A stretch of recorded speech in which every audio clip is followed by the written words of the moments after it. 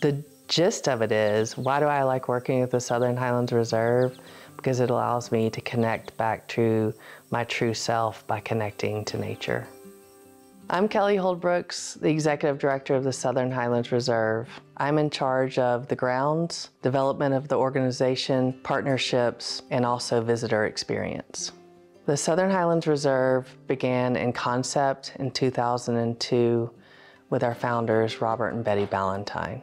They moved to Western North Carolina in the early 90s and over the course of the next few years began to purchase land across the street from their home. In 2003, they made an incredible decision to bring in professionals to help inventory the land to see what kind of species were already existing here. At this point in time, there were 120 acres under conservation easement on Toxaway Mountain.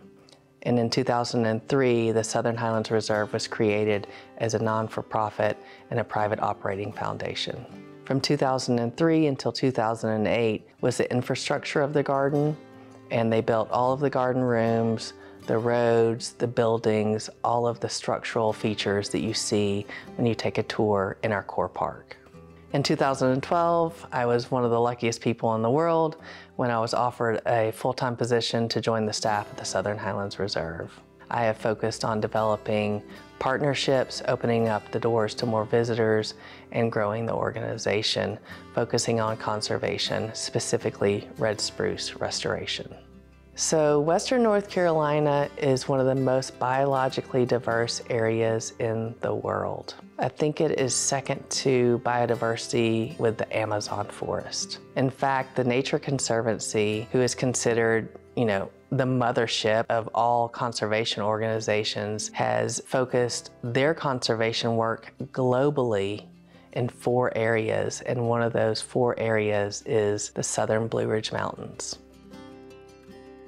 Around 12 or 13,000 years ago during our last ice age, the glaciers moved down to about Pennsylvania.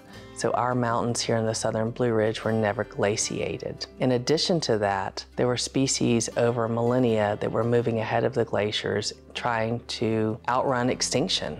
And so they came down the spine of the Appalachian Trail and found what we refer to as sky islands where they can exist.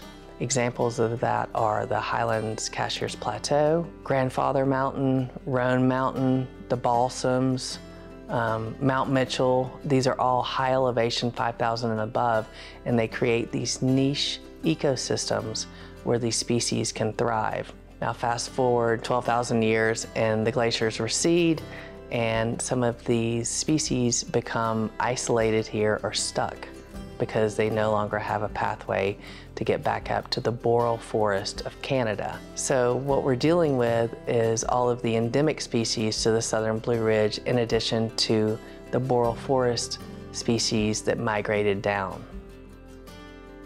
So human impact is the canary in the coal mine when it comes to anything related to nature. In recent decades, it's evident that our impact on the natural ecosystems is degrading them. Around the turn of the century, due to unsustainable logging, our virgin forest was cut down and decimated. That was the beginning of progress and modernity marching forward.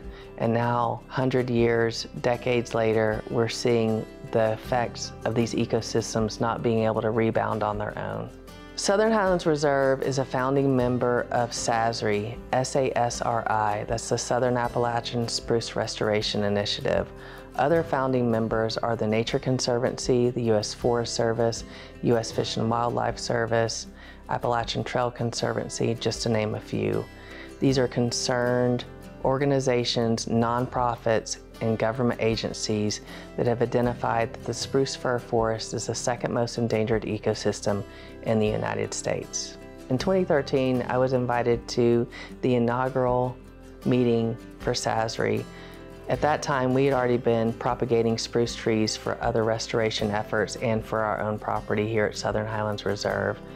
When I arrived at that meeting with spruce saplings and small trees, everyone was in a state of shock and where did I get them? The Southern Highlands Reserve became the sole producer of red spruce seedlings and saplings for the Southern Blue Ridge for SASRI for over the last 10 years. We are focusing specifically on red spruce propagation because it is the least in decline conifer, which means that it's our best hope.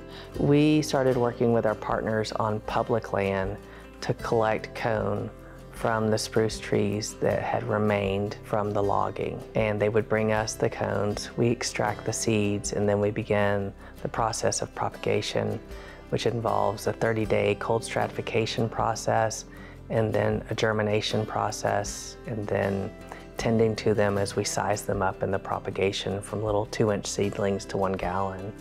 So it really is a collective and collaborative effort by SASRI partners to make everything come together. When I started here in 2012, I thought it would be really important to compare the core park to what we refer to as the natural woodlands. So what we have is an opportunity to look at how humans have affected a design and added and edited versus what is naturally occurring on the natural woodlands. So in the biodiversity project, which we presented at a conference in Rhode Island, the Environmental Design Research Association, we applied seven layers of analyzing how our effect on the core park compares to the natural woodlands. And what we were able to find is that our impact on the core park had increased the biodiversity by increasing native plants and adding a water source. The design behind the master plan for the core park is to create garden rooms much like the rooms in a house or like an architect would do. So as you go through the tour, you're going to enter into different rooms such as the woodland glade, the wildflower labyrinth, or the azalea walk. Each one of these rooms is curated to elicit an emotional response and a connection to nature through thoughtful planting design and bones of the garden or what we call infrastructure. So it really creates this experience of wonder and excitement, things that you think back to childhood about and you're able to experience those again as an adult. One way that people can support the Southern Highlands Reserve is by connecting us with others that want to do the important work of conservation. We rely on support from other people to continue the great work that we're doing in conservation. Every donation counts. No amount is too small, and we are so grateful for the support from past donors and look forward to continuing this work in conservation with them in perpetuity. Our volunteer program has allowed us to grow leaps and bounds. There are only five people on staff at the Southern Highlands Reserve, and as a small nonprofit, every helping hand is important. When hiking in the high elevation mountains of the Southern Blue Ridge, people may not be aware that they are even hiking in a spruce fir forest. There is a coolness in the air the forest floor beneath you is spongy as you walk. There is no noise of modern human activity. The light filtering through the spruce fir forest is dappled. The air is sweet. If you get close enough to the sap of the trees, you get what a true spruce fir smell is.